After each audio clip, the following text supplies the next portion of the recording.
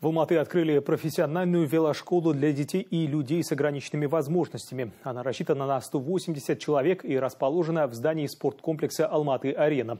Занятия для будущих чемпионов проводят профессиональные казахстанские тренеры. В церемонии открытия принял участие Аким города Бакыджан Сагентаев. Глава мегаполиса также ознакомился с рядом других городских проектов. Подробнее обо всем в материале Айданы Нураш.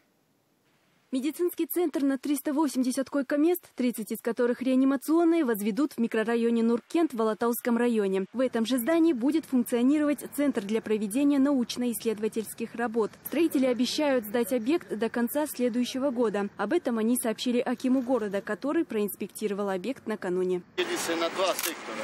Значит, больница, инфекционная и туберкулезная больница. И на это то, что вы видите, это э, значит лаборатория научно-исследовательный э, э, центр. По просьбе жителей благоустроят и улицу в микрорайоне Ахбулак. Для комфортных прогулок сделают тротуары, установят скамейки и уличное освещение. Развернут на участке и площадки для семейного отдыха.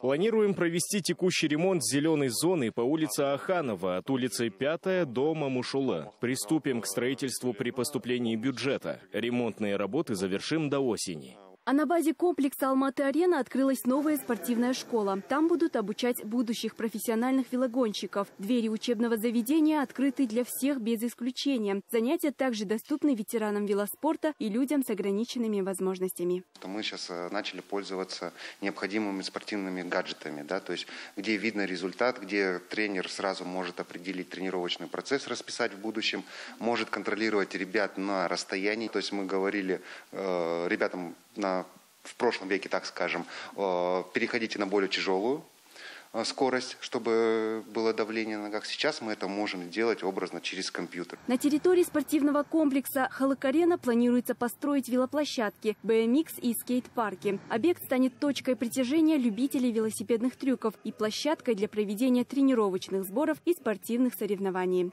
Айдана Нураж, Сагангалимунайтпасов, телеканал Алмата.